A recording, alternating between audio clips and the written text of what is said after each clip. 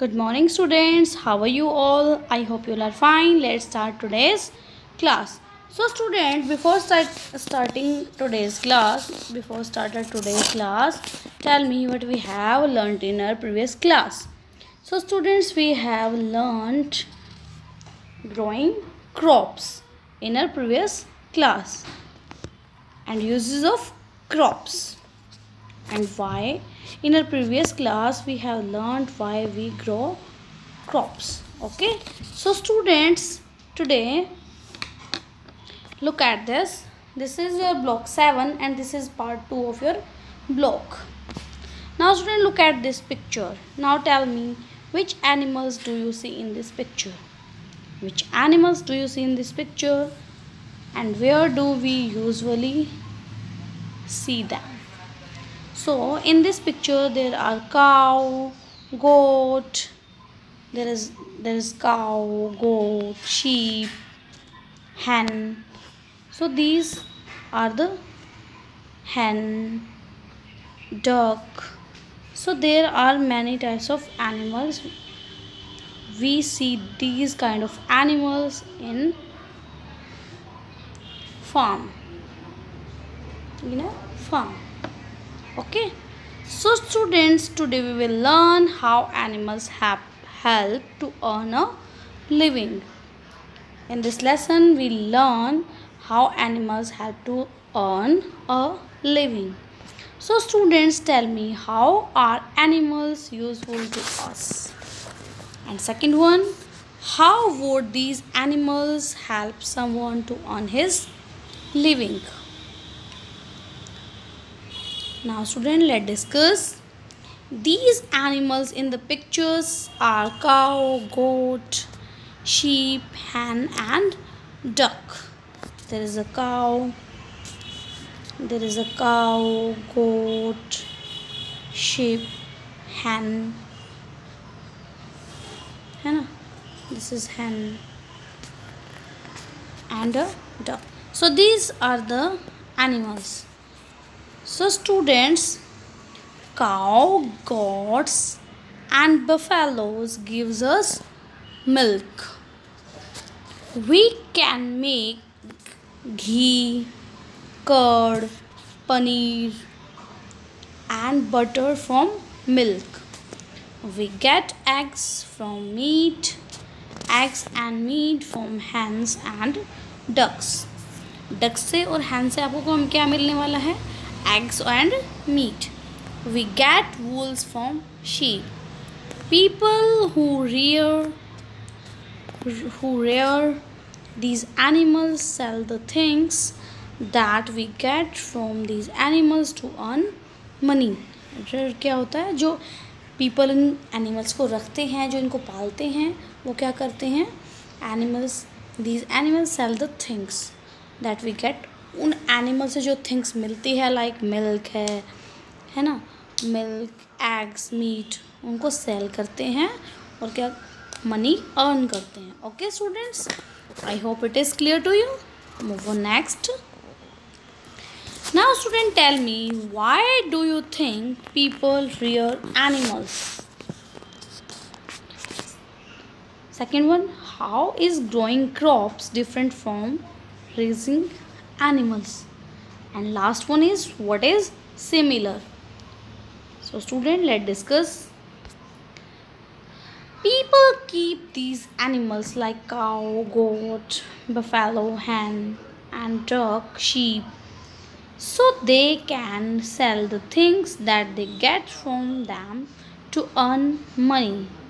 People keep milk giving animals in dairy farms for milk. People keep birds in a in a poultry farm to sell eggs and meat. People जो poultry farm में कौन रखते किसको रखते हैं hands को रखते हैं और उनसे क्या मिलता है एग और मीट मिलता है हमें if someone did not keep these animals we would not have got eggs milks and meat so easily okay अगर कोई भी नहीं रखेगा इनको तो हमें ना तो एग्स मिलेंगे, ना मिल्क मिलेगा और ना ही मीट इजीली नहीं मिलने वाला है। Okay students so students tell me how is growing crops different from raising animals we get different things from growing crops and from animals one gives us food from crops while the other gives us food from animals animals से food मिलता है हमें। और crop से भी food मिलता है ना? So now student tell me what is similar between raising animals and growing crops what is similar so one thing common between the two occupations is that both need large open spaces और growing crops के लिए भी हमें crops को grow करेंगे तो हमें large space चाहिए। और एनिमल्स को अगर पुट करना है हमें एनिमल को रेयर करना है एनिमल को रेयर करना है तो भी हमें ओपन स्पेस की नीड होती है। Okay students I hope it is clear to you move on next student tell me do you think it's good to use animals to earn a living and why do you think so so students animals should not be kept in places where they are not free to move around. They would be happier if they can move around freely in the wild. अगर हम उनको एक एक place में रखेंगे तो वो happy नहीं होंगे। बट जब वो ओपन प्लेस में रहेंगे, अपने अपने फ्री रहेंगे तो वो हैप्पी होंगे।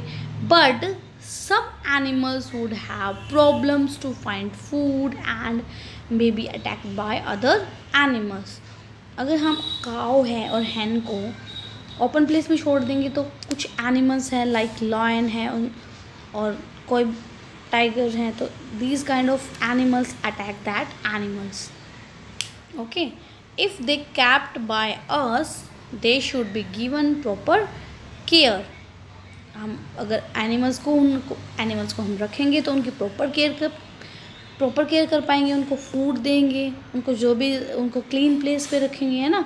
We must also see that they are kept in clean places so as to not catch disease open और क्लीन प्लेस पे रहेंगे तो उनको डिज़ीज़ भी नहीं आएँगी। So students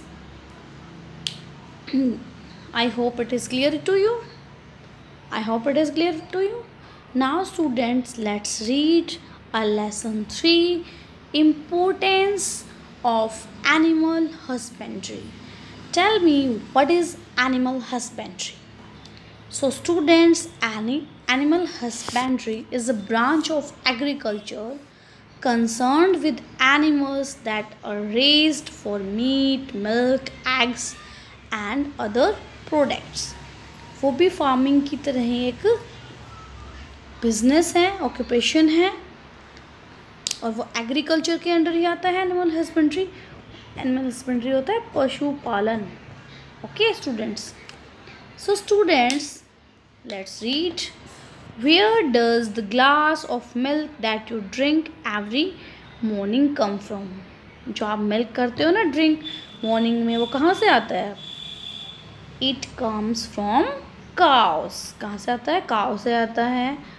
And there are people who can keep cows and buffaloes in dairy farms for milk and milk products such as ghee, butter, curd and paneer. हमें कहाँ से मिलते हैं ये चीज़ें?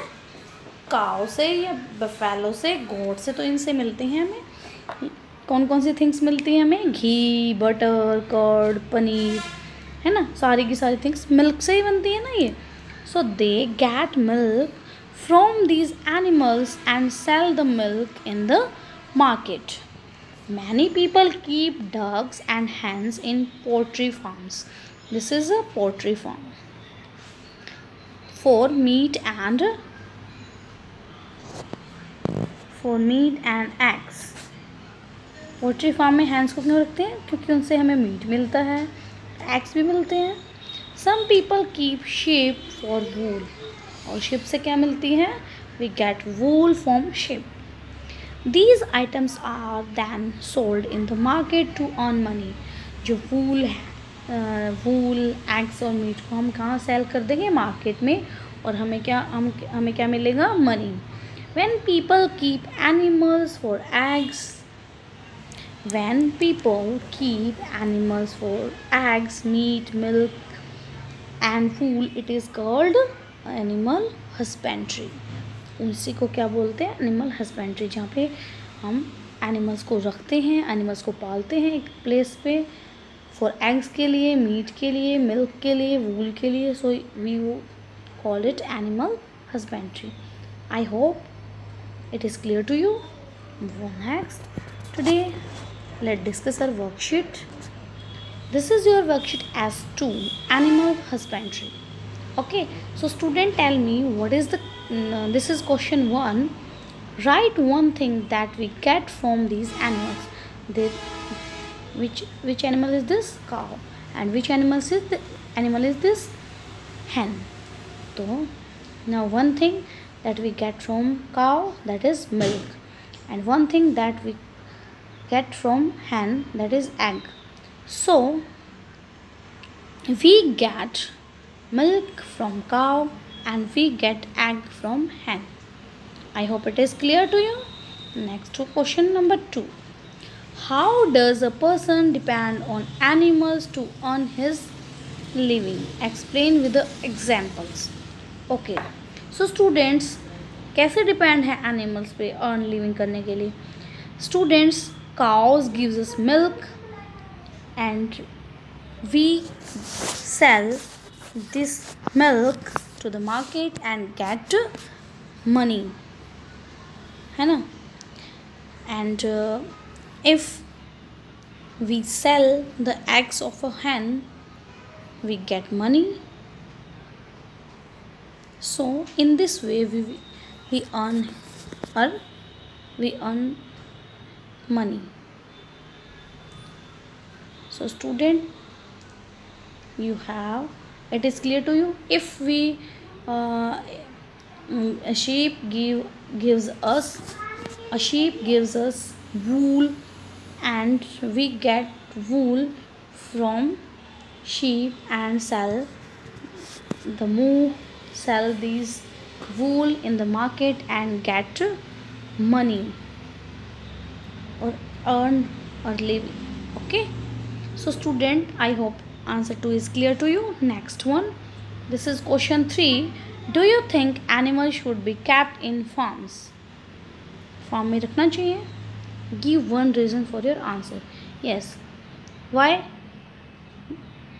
Because some animals would have problems to find food and may be attacked by other animals like goat sheep cow है ना they have they would have problems to find out food and may be attacked by the other animals. So if we uh, if we are if they are kept by us they should give uh, they should be given proper care.